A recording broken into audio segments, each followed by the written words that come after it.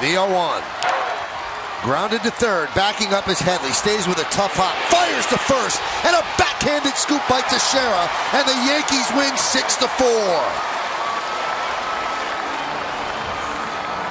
Big smile by Chase Headley as Mark Teixeira saved the game right there with a backhanded scoop. Headley's been playing a great third base. The Yankee bullpen again does a really good job, David, and they needed this win. This is a tough hop for Headley. Watch the top spin.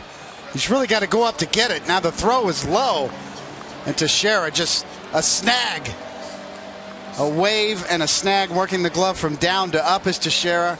The top spin on this hop was very difficult for Headley. And Teixeira showing you how you do it. Glove low, go up with it. Nice pick. And there's